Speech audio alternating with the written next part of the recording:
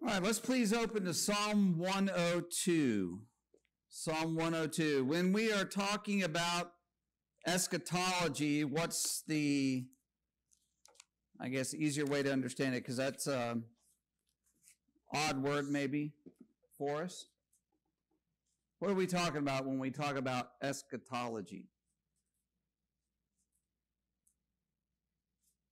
It is uh, the end, something coming to an end. And in terms of a Christian, it can be twofold. One would be the end of our life, and the other would be the end of all things. Okay, yeah. The end of our life is what we looked at last time the idea of what happens to an individual when they die. Secular view, basically oblivion. The uh, Bible view, you enter into the Hadean world, the spirit survives the death of the body, or the soul survives the death of the body. And then, um, as Ron was saying, the other I guess, focus of eschatology would be the universe. How is it going to come to an end? Now, I would like us to read Psalm 102, verses 25 through 27 to get pretty good idea of the Bible's perspective on it. Who will read Psalm 102, 25 through 27 for us? Philip?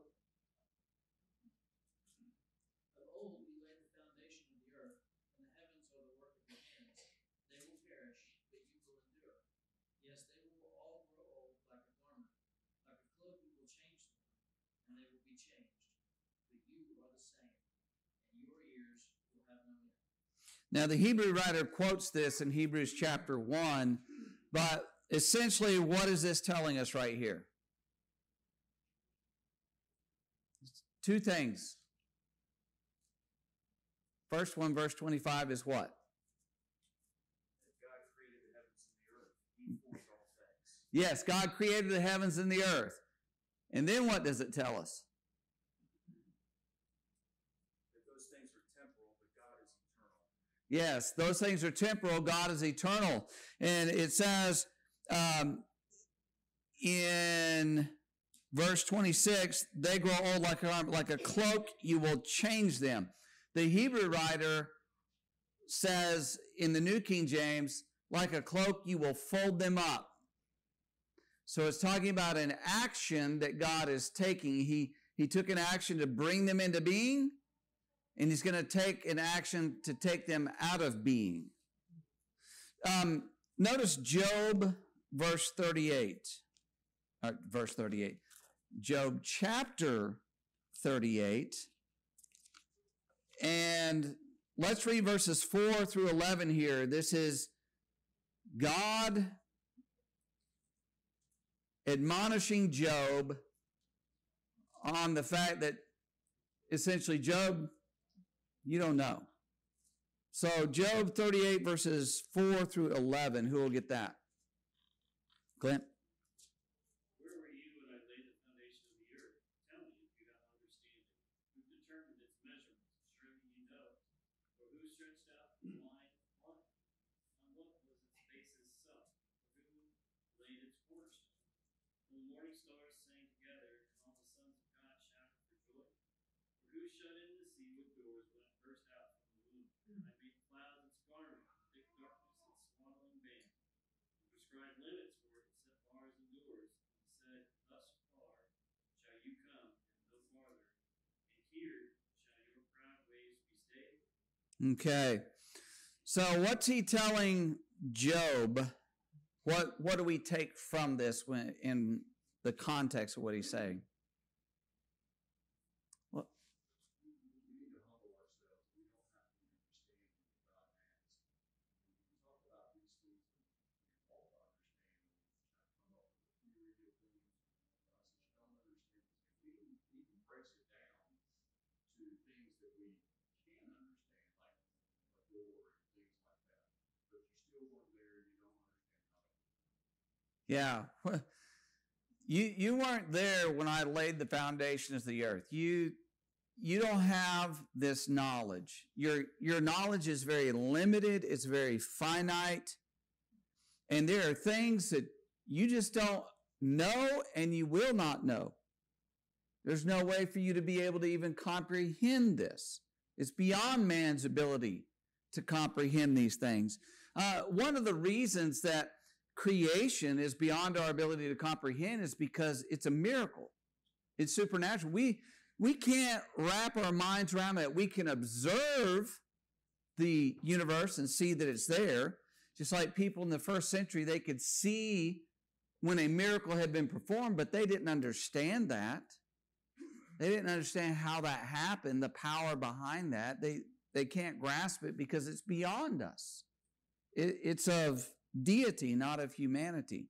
And so here, it's a great place to look and to think about the fact we can look at this universe. There are things we can observe. There are things we may discover, and we may understand a law, a scientific law, if you will, from the standpoint of, okay, there's gravity. All right, we get that. It's a certain amount of pull on planet Earth, and on the moon, it's a different amount of pull or magnetism or however you put it.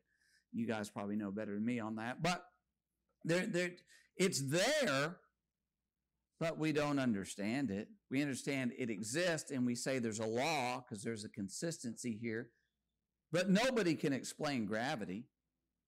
You know, we can look at light and we can study light and say, okay, it's a wave, but it's a particle, but it's this, it's that, it's the other. It can bend and we can look at the spectrum of electromagnetic energy, but we really don't understand it in its fullest sense. And so he's rebuking Job here in a sense, and we need to have, as Mike said, that humility to understand, okay, God brought the universe into existence.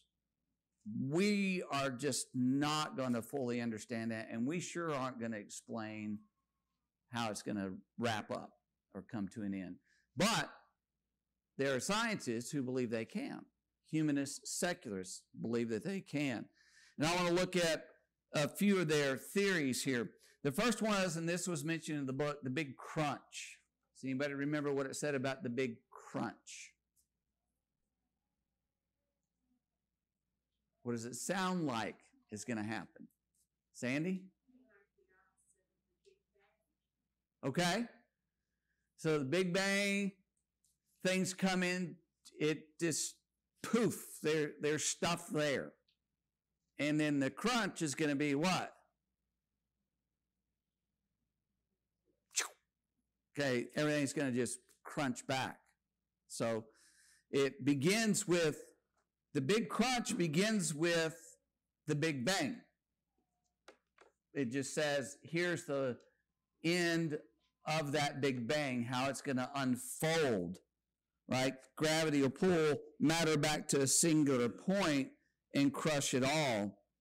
Uh, and part of this theory, if I understand it correctly, is it's going to pull it back to a singular point, and then it's going to have another Big Bang. So it's it's like the universe is is just expanding, contracting, expanding, contracting. Isn't that revolution instead of evolution?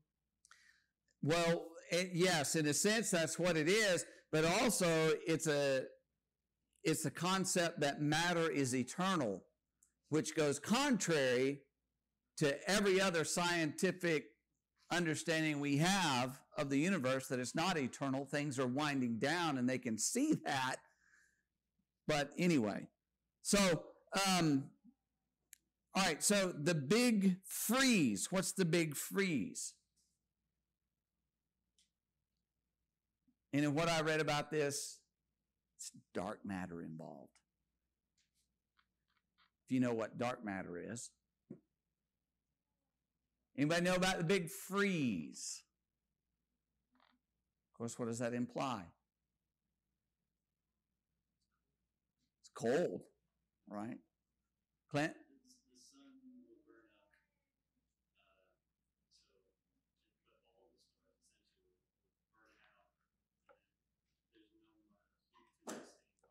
to sustain life. Everything's It, it gets to this point where there's no energy that is available for planets. And one of the things I read is this idea of, okay, there's the Big Bang and the Big Bang, then everything is spreading out and they see the universe as expanding.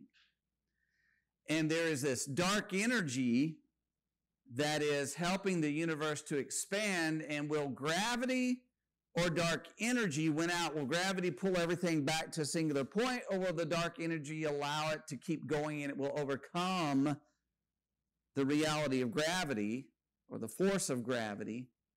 And it keeps going, and eventually everything's going to spread so far apart that it's going to be so cold that everything's just going to freeze. All life will just boop, not exist anymore. So that's kind of the big freeze idea. Then there's the big rip. Anybody want to guesstimate or have an idea about what the big rip is? And these are actually scientifically doctoral type people with great research and algorithms and great thought. This is actually a serious theory put out there. The big rip is the idea that it's going to keep expanding. And what's eventually going to happen is that galaxies will be ripped apart, planets will be ripped apart, and even atoms will be ripped apart.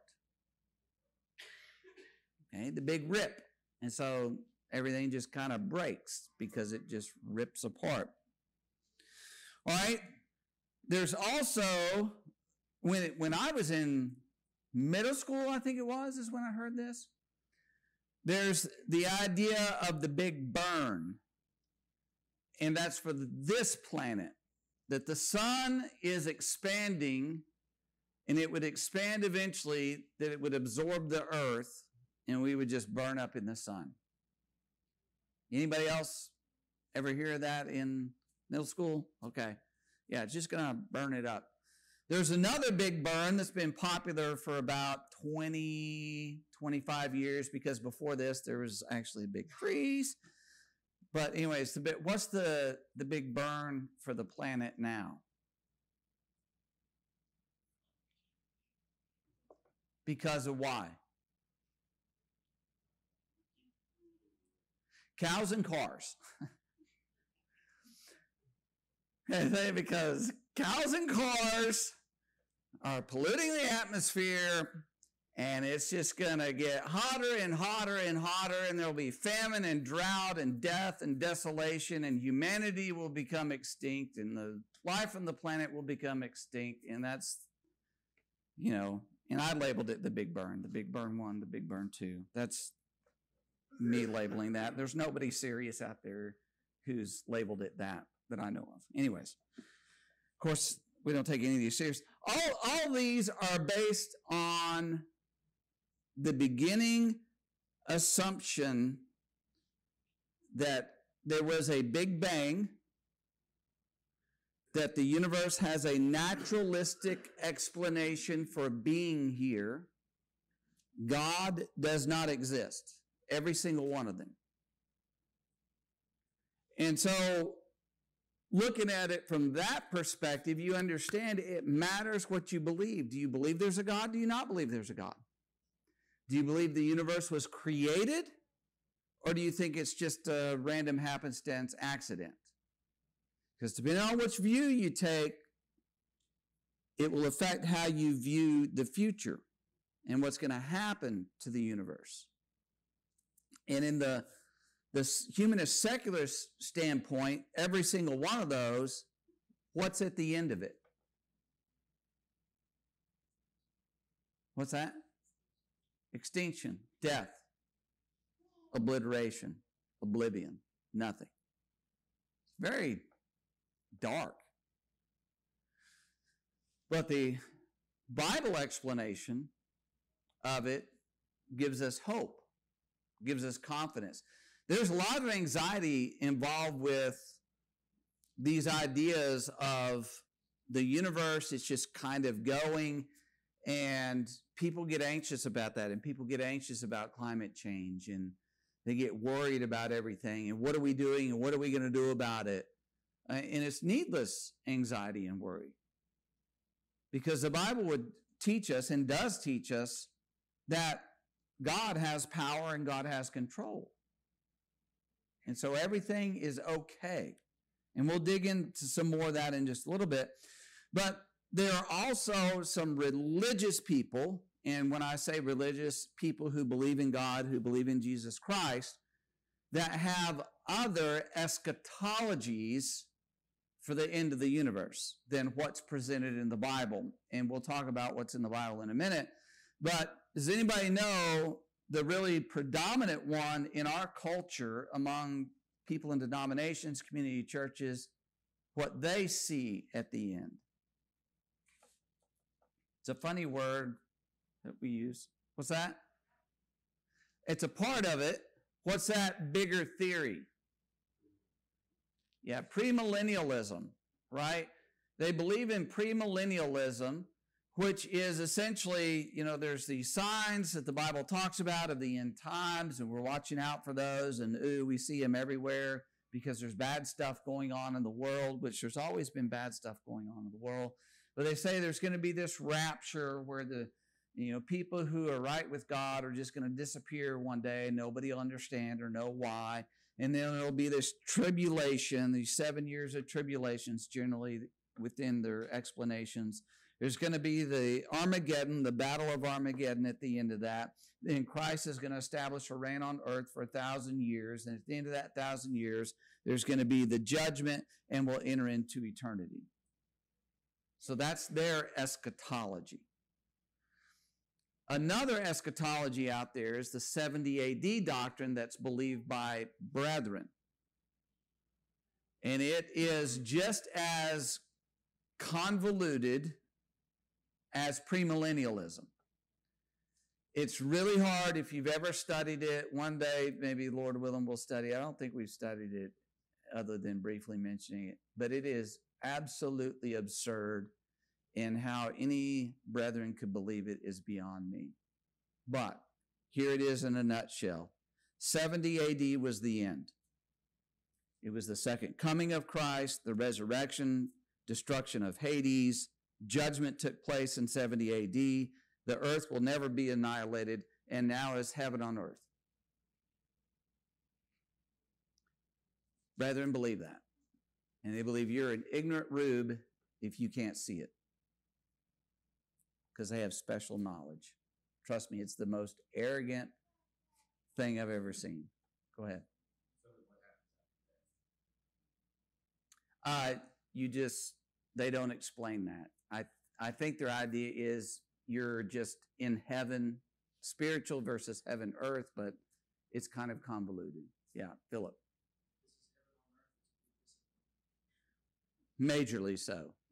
And you got a problem with the Lord's Supper, right? We proclaim his death till he comes, but they still partake of it, which, why? But, anyways, well, Lord willing, maybe one day dig into that. So let's jump into the Bible. Let's first of all go to 1 Thessalonians chapter 5, and let's just step through what the Bible says is going to happen at the end. 1 Thessalonians 5, verses 1 through 3. Who will read that for us? Go ahead, Zach. Now concerning the times and the seasons, brothers, you have no need to have anything written to you. For you yourselves are fully aware that the day of the Lord will come like a thief in the night. While people are saying there is peace and security, that sudden destruction will come upon them as labor pains come upon a pregnant woman, and they will not escape. Okay, so first point of the end. What's it going to be like?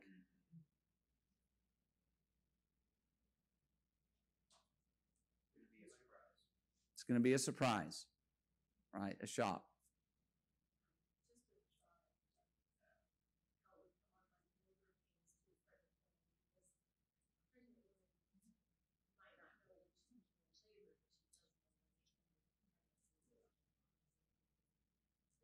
Well, I, I believe what the illustration is is she knows it's coming. It's go- it's going to come, but she doesn't know exactly when. and you know it might hit at four in the afternoon or two in the morning or she and we know the judgment's coming we just don't know when And I think that's the point that's being made from reading down in verse four. It says, you brethren, you're not in darkness, but the day of the you light. So you know it's coming. There's no reason for you to be afraid. Right. Right exactly. We we should be very aware and prepared for that. Let's go to matthew chapter 24 matthew 24 to tie in some statements made by the lord on this. In matthew 24 verses 36 to 44 and notice what he says about the end. Uh, who will get that? Go ahead carter But concerning that day and hour, no one knows, not even the angels of the, of the, of the heaven nor the Son, but the Father only. For as were the days of Noah, so will be the coming of the Son of Man. For as in those days before the flood, they were eating and drinking, marrying, and giving in marriage, until the day when Noah entered the ark, and they were unaware until the flood came and swept them all away. So will be the coming of the Son of Man. Then two men will be in the field, one will be taken and one left. Two women will be grinding at the mill, one will be taken and one left. Therefore stay awake, for you do not know on what day your Lord is coming. But know this, that if the master of the house had known in what part of the night the thief was coming, he would have stayed awake and would not have let his house be broken into. Therefore you must, you also must be ready, for the Son of Man is coming at an hour you do not expect. Okay, so there at the end, he brings in the idea of the thief in the night again, but overall, he's talking about the same concept. You're just not going to know when that happens. So, what part of premillennialism does that contradict? Does that dispel?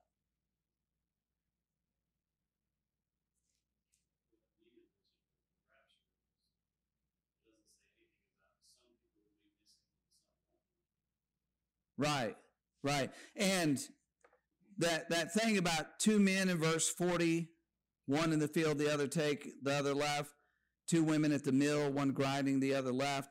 So what that's pointing to is what we'll read about in First Thessalonians chapter 4 that there are going to be some that are caught up with the Lord and that means there's some that's not. It's not talking about the rapture. It's just talking about there's this separation in the end. Mike, did you have something? Yeah, just to say, you know, that ever since the, the idea of free will came along, every generation has seen these signs. They think they're the generation. And it just keeps going and going and going. What we see here is it, the everyday life is going to be one of them. That's whenever it's going to happen. So, uh, again, you know, there's no reason to, you know, fear this. And with all these signs and everything, they come Right, right, exactly. And like you said, every generation has had this. The uh, Jehovah's Witness, Seventh day Adventist movements were born out of failed prophecies in the 1840s, uh, and where people went and sold all they had. They went and they dressed in white robes, went out in, into the fields because they they believed there was a specific day the Lord was going to return. And it's uh, referred to as a great disappointment because a lot of people became skeptics after that because they bought into uh, William Miller's ideas, and it it caused them to not believe in the Lord. This idea that they could see signs and they didn't, it didn't come about. So yeah, this dispels the ideas of that there's any signs. There's not going to be any signs. It's just it's going to happen. All right. So First Thessalonians chapter four, then. First Thessalonians chapter four. So it's going to happen suddenly. It will be something that men are going to experience being caught off guard, not realizing it's going to happen then when it does happen. So 1 Thessalonians 4, verses 13 to 18. Who's got that for us? Ron. But I do not want you to be ignorant, brethren, concerning those who have fallen asleep, lest your excuse me, lest you sorrow as others who have no hope. For if we believe that Jesus died and rose again, even so God will bring with him those who sleep in Jesus. For this we say to you by the word of the Lord, that we who are alive and remain until the coming of the Lord will by no means precede those who are asleep. For the Lord himself will descend from heaven with a shout, and with the voice of an archangel, and with the trump of God, and the dead in Christ will rise first. Then we who are alive and remain shall be caught up together with them in the clouds to meet the Lord in the air. And thus we shall always be with the Lord. Therefore, comfort one another with these words. Okay, so what are some of the things he says will occur when the Lord returns?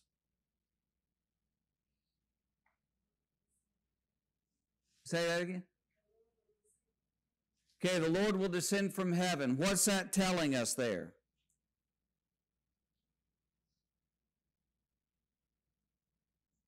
Anything?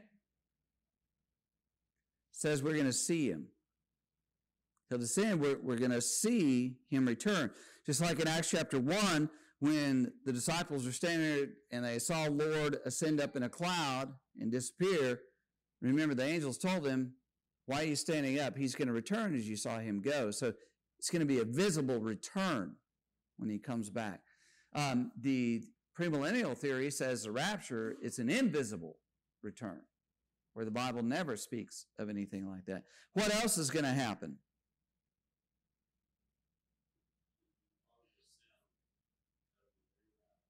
Okay. What what two things does it liken it to?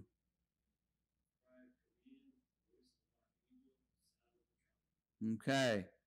There's going to be this shout, this cry out, the like an archangel crying to the world and the blast of the trumpet. So it's going to be visual, it's going to be audible, it's going to be overwhelming. Nobody's going to miss it. Everyone's going to see it and hear it at the same time. Anything else it says is going to happen? Ron. Well, what isn't going to happen is that Christ is going to set foot on this earth and establish a new heaven and a new Garden of Eden and all the other things that we hear him say when he returns again and comes to the earth. And he's going to establish that. Right. Right. It doesn't say anything about him coming on earth, remaining on earth, you know, this glorious reign of paradise on earth. But what it does say is we'll be caught up in the clouds and with him when he delivers the kingdom to the Father. Exactly. We're going up to him. And then one other thought is the very fact that there will be people on this earth when he does come. So all the things we talked about previously, they're also naked, Exactly. which includes cars and Cows. Yeah. Yeah, exactly right. So there there's not going to be the big freeze, the big burn, the big rip, the big crunch. It's cuz life is going to be going on. It's important also that premillennialists will, will go here and say this is what the rapture is. But the word rapture never shows up. Instead, it uses the word call up.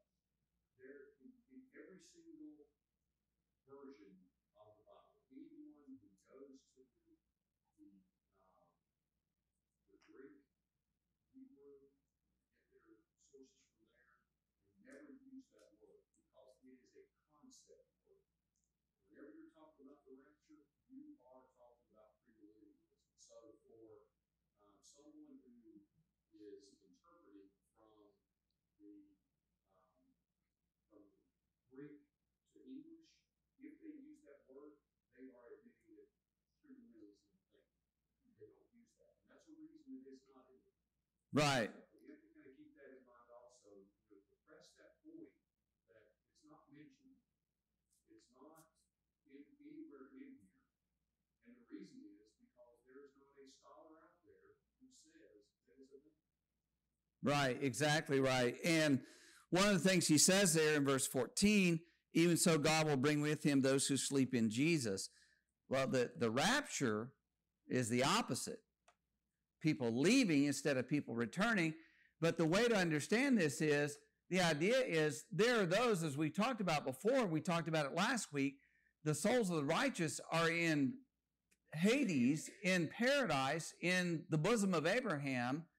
And that's what he's talking about bringing back. They, they have to be brought back out of that realm in order to be resurrected. And that's why later he says, you know, the dead in Christ will rise first because he's brought them back. They rise. And then those who are alive and remain will be caught up together with him in the air to meet the Lord, to be with the Lord forever. So, yeah, all those things are, are going to be taking place when the Lord comes back. Any other thoughts on that? Let's go to John chapter 5. And we touched on this last week, and so we'll just briefly hit it here. But John 5, verses 28 and 29.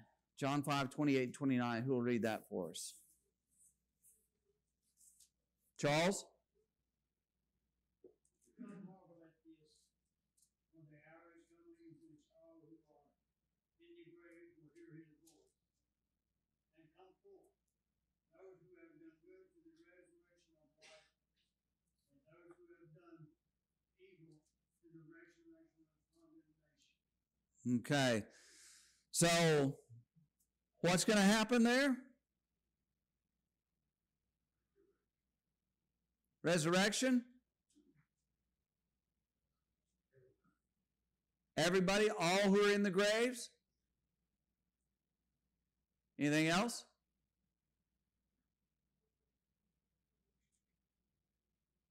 Why are they going to come out of the graves?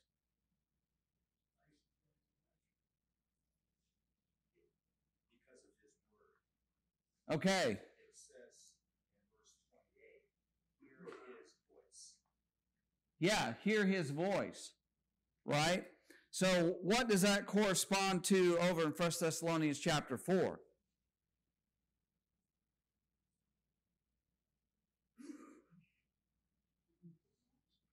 What's that? Noise, the shout. Right? It's going to be this shout that comes forth and you see here his voice is going to call out to bring people out of their graves, just like he stood before Lazarus' grave, said, Lazarus, come forth. Instead of calling one individual, he's calling all individuals out of the grave. So there's going to be this great resurrection. Of course, 1 Corinthians 15, again, we touched on this last week. What does it say is going to happen at the resurrection? Like what's actually going to unfold? No, the resurrection. We'll be judged after we're resurrected, but the actual resurrection itself. Are you referencing that which is corruptible is going to put on that which is incorruptible, that we're going to have a new body that he is describing? Right. Here he says called out of the graves, and people have a hard time wrapping their mind around that. What do you mean called out of the graves? Because, you know, there's been people buried in the ground for thousands of years and they've returned to the dust. Literally, it's just their body is dust. And there's other things that have happened with people, as we talked about last time. You know, there are people eaten by animals or they're burned up in fire. You know, people in Hiroshima, they just vaporized some of those people. So.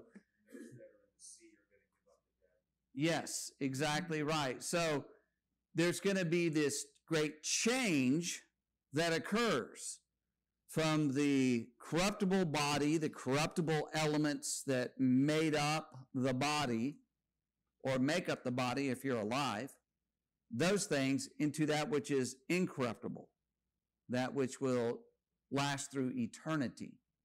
Whatever body that is, that's, that's what's going to take place. So He's calling us out of the graves. So it's going to be this great change for both the living and the dead. 1 Corinthians chapter 15 talks about in the moment in the twinkling of an eye.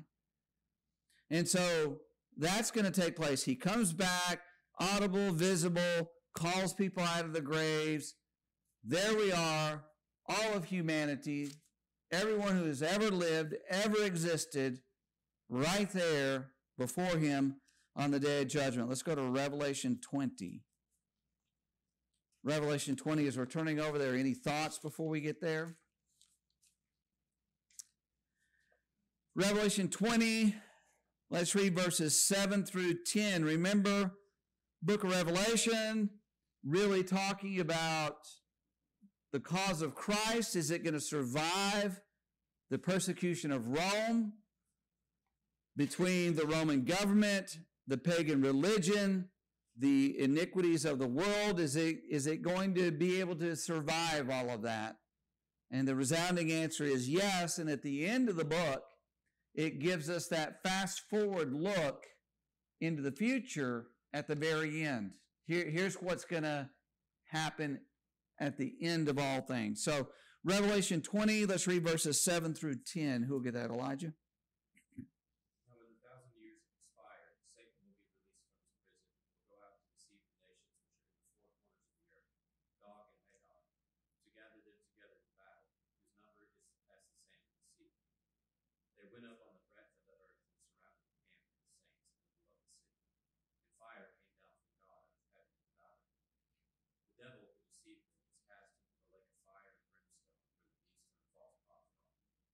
And they will be tormented day and night forever and ever. Okay, so this lake of fire and brimstone, what is that?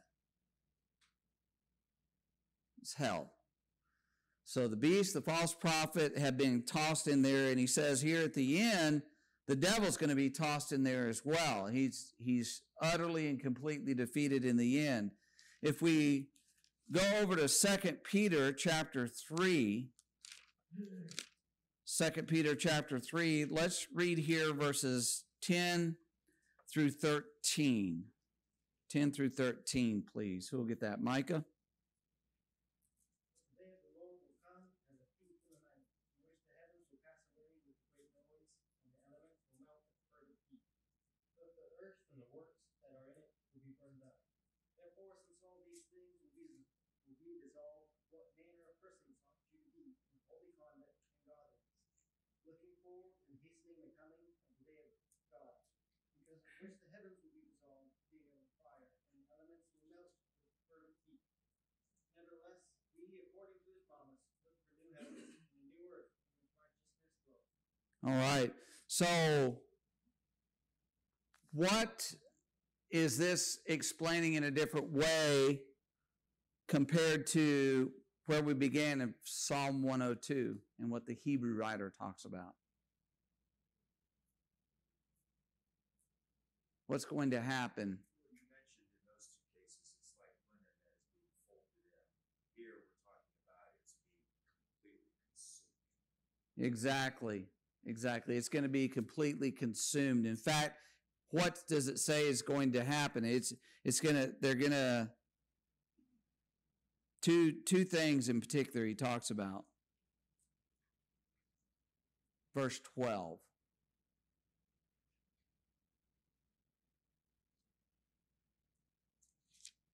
The heavens will be dissolved and will melt with fervent heat. Okay.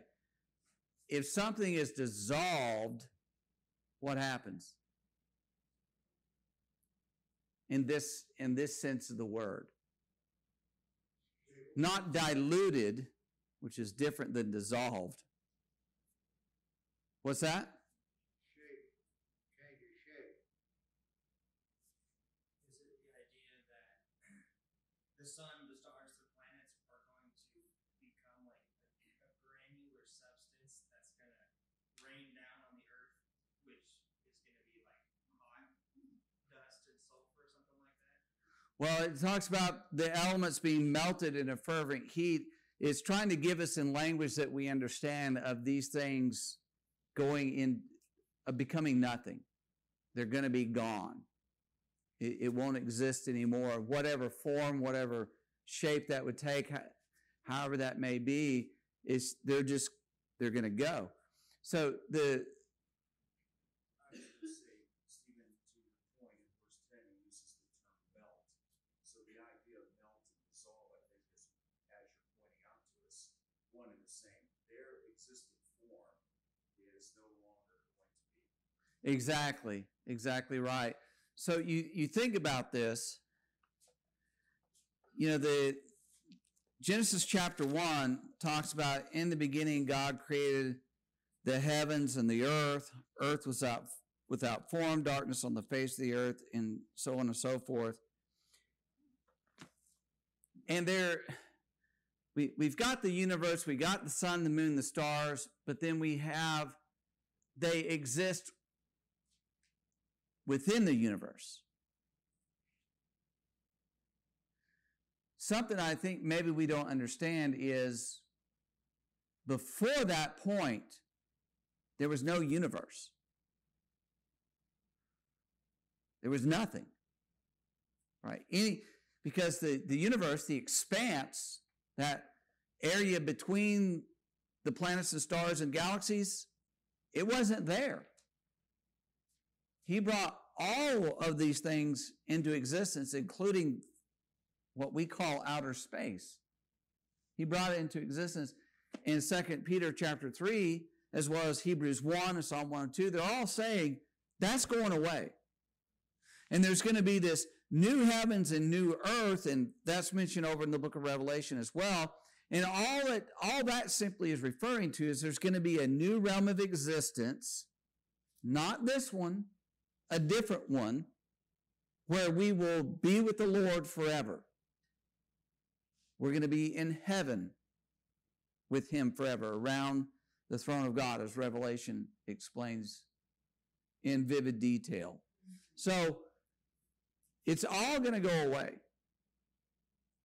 And nothing will be here. It won't go to a singular point and then expand back out. It's not like it's going to rip atoms apart and there's half atoms floating around all over the place. It's just, whoosh, it's not there. And that's hard for us to wrap our minds around. It's hard for us to wrap our minds around nothing and then something and God bringing all these things into existence. How could that be? Well, it's it's all going to go away. Well, how could that be? Well, it's miraculous. It's beyond our ability to understand. All right, so all that's going to take place. The devil's cast into the lake of fire. All these things coming to an end. And then, of course, ultimately, what's going to happen with all of us.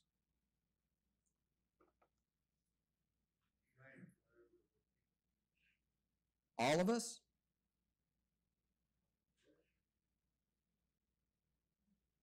Anybody want to expound on Paul's statement that all of us? Matthew 25 talks about being parted left and right, right and left. Okay. Yes. So the judgment, think of it this way, because some people say, well, don't we know where we're going when we die? Well, yes. You die, you're going to be in paradise, you're going to be in torments, and you're going to know whether you're going to end up in heaven or hell. But the judgment is this great and final separation where we receive that new body and enter into that eternal dwelling place. Hades is just temporary. There's no body there. It's your soul that's there. In this new existence, we'll have a body and we will where we're going is going to be forever. So there's this final separation. And it's very interesting to me, you know, uh, by the way, Matthew 25 talks about the parable of the 10 virgins. It talks about the parable of the talents of money. And it talks about the, the sheep and the goats being separated. And I believe that's what Zach had reference to, this great separation of all men standing before God. But one of the things you note in all of this is Everyone's going to, who's going to heaven is going to enter heaven at the same time. Sometimes people think that, like Moses and Elijah, are in heaven. They're not. They're not on earth, but they're not in heaven. One of the things Jesus talks about, and I forget the reference right offhand, no man has seen God at any time. Well, that includes Moses and Elijah. They haven't seen him. They're, they're awaiting that eternal reward, even though in Enoch, right? Yeah, no works are still being established even after we're dead. You know, your works continue on that you have done here on earth. just of God to, to not let everything that be taken into consideration. So after we're dead and gone, you know, the work that you're doing here in this congregation, the work that we're doing in this community, after we're dead and gone, we're going to move on. And all of that is taken into consideration. Let's look at 2 Corinthians chapter 5 and verse 10. 2 Corinthians 5. Well, let's read verses 9 through 11. Let's let's grab that whole piece there as he's talking about the same things about this great judgment that takes place. 2 Corinthians 5, 9 through 11. Who will get that for us? Ron? Therefore, we make it our aim, whether present or absent, to be well pleasing to him. For we must all appear before the judgment seat of Christ, that each one may receive the things done in the body according to what he has done, whether good or bad. Knowing, therefore, the terror of the Lord, we persuade men, but we are well known to God, and I also trust are well known in your consciences. Okay.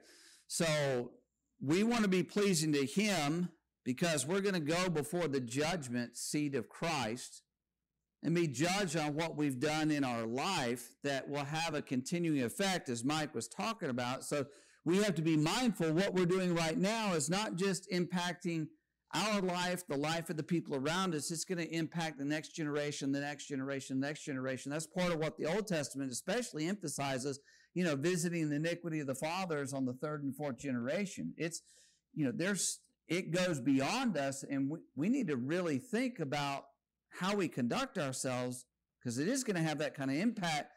And we'll stand before God and a an, give an account for how we have lived our lives, whether righteous or unrighteous, whether good or evil. And so we need to turn away from sin and do what's right as Micah read a while ago, 2 Peter chapter 3. You know, what manner of conduct should we have now? It needs to be righteous conduct, godly conduct, because it's coming to an end. This world, the universe, our lives will eventually come to an end. And of course, what are what does the New Testament teach in particular that we are going to receive when we go to heaven? There's something it talks about. Crown of life. Sometimes it refers to it as crown of righteousness. We're going to receive a crown, right? Here's a reward. Here's an acknowledgement. You are a child of the king, if you will. You're a prince. You're a princess. I, I don't know. Maybe that's not the appropriate way to put it, but we receive this crown, this reward acknowledging we are righteous and we're blessed to be into heaven. So, all right. Thank y'all very much. Lord willing, we'll start first in Second Thessalonians next week with an introductory lesson.